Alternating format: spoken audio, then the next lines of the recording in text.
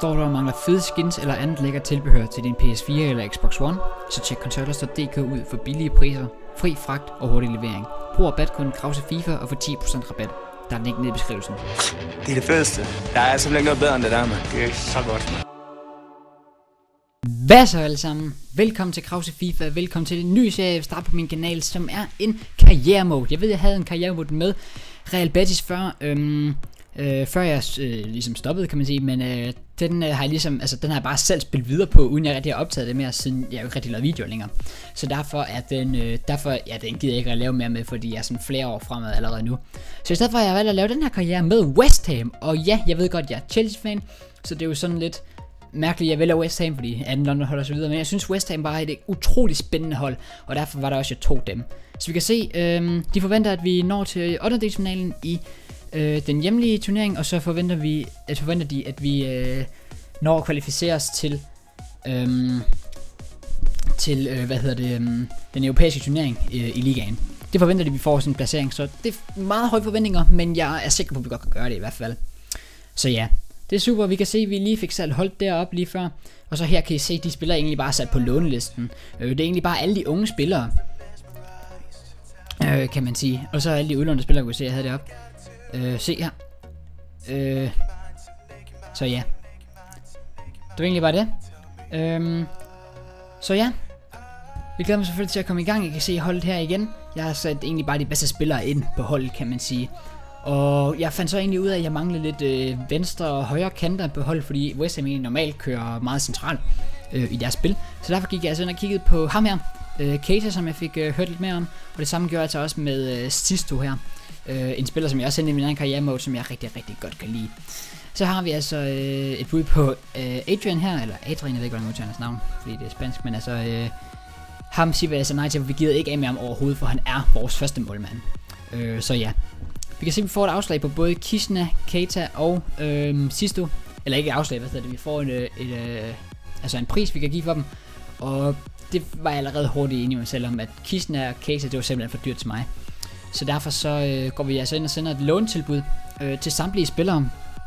Øh, vi kan se, at 27 millioner for Case, det, det, det kommer ikke til at ske. Øh, så ja, han skal altså have meget løn, men jeg tænkte, det kunne være meget sjovt at prøve at lege ham. Øh, han vil være en god forstærkning, en rigtig, rigtig, rigtig god forstærkning til vores hold i hvert fald, og det samme med Kisne her også. Jeg mener faktisk, han har 5 stjerner skills, jeg ved ikke, om han er blevet opdateret, opgraderet, eller er det mig, der husker forkert. Men en rigtig, rigtig god spiller også, som vi kunne have fået ind på hold der. Øh, som vi kan få ind på der.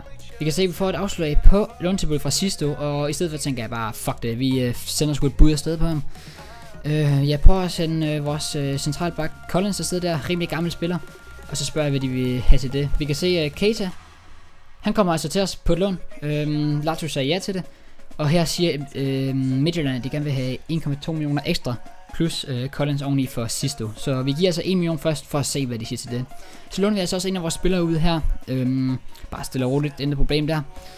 Øh, vi kan se Sisto, vi får en øh, afsluttende rapport øh, på ham her.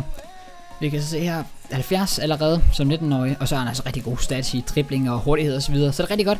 Og Midtjylland, de accepterer altså vores tilbud her, og derfor går vi ind og øh, sætter en kontrakt ind til Sisto. 10.000 om øh, ugen, og så en målbonus på 5%. Så det ser jo bare en lovende ud i hvert fald. Så kan vi se Spiegel. Øhm, ham øh, søger vi efter der, eller ham får vi et bud på, hedder det.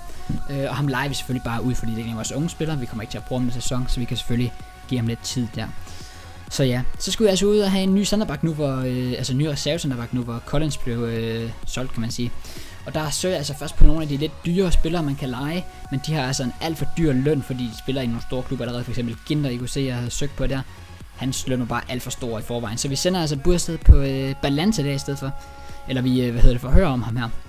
Øh, så ja, vi glæder os til at høre mere, for det, mere om det i hvert fald.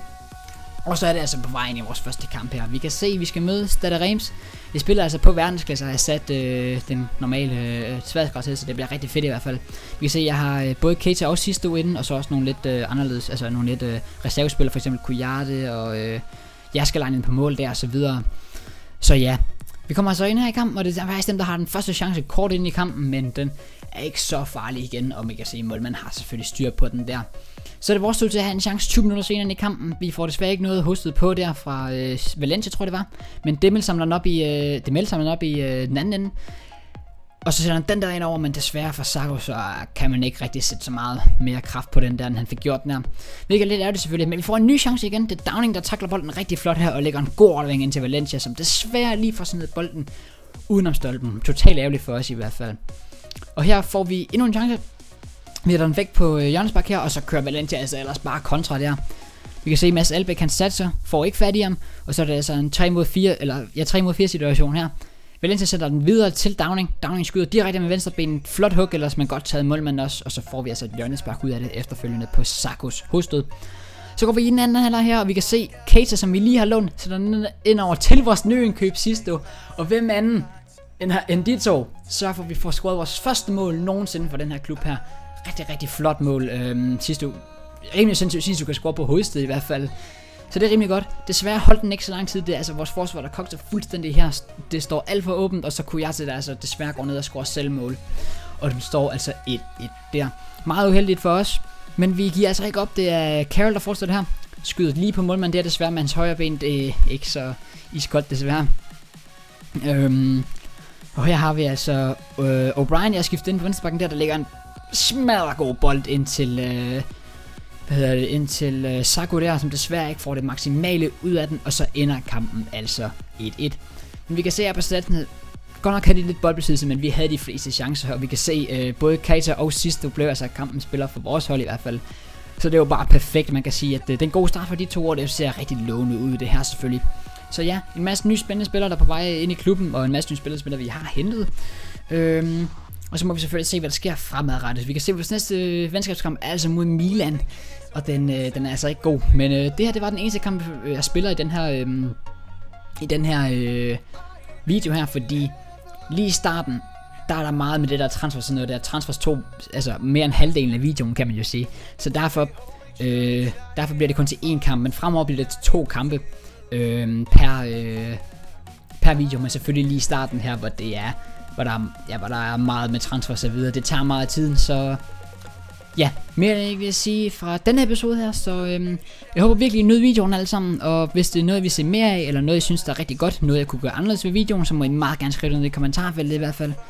Så ja, tusind tak fordi I så med alle sammen. Husk at like videoen, hvis I nød den. Subscribe, hvis I vil se mere. Og vi ses.